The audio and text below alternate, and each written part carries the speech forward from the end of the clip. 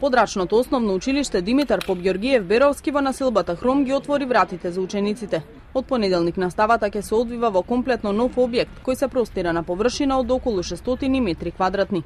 А, објектот е направен по сите стандарди во рамки на она што значи потреба за редовна настава на учениците, исто така по стандардите за потребите и на ученици со посебни а, потреби, така да а, можем да кажем дека успешно го завршивме а, и реализиравме уште едно ветување, онака како што беше во рамки на плановите. На вистина во оваа прилика дозволете ми пред се да им честитам на учениците, на најмладите, на оние кои што ќе ги поминуваат своите најубави денови во новиот училишен век, на нивните родители кои што ќе намалат грижата и нивните а, најмили ќе бидат во рамки на нивното населено место. Во училишниот објект ќе се изведува настава за ученици до пето оделение, а во наредните години се очекува училиштето да прерасне во деветолетка. То ова училиште е ветено да биде деветолетка, сега е петолетка.